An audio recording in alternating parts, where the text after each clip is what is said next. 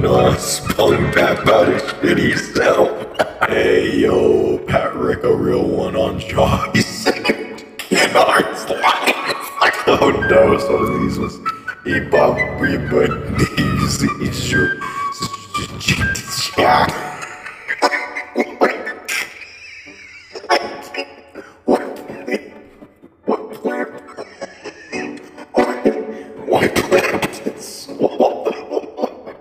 Oh hell no. Patrick, it's all a boss.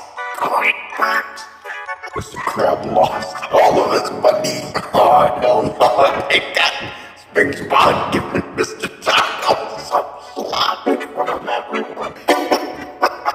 it's, it's Sparkle Bond.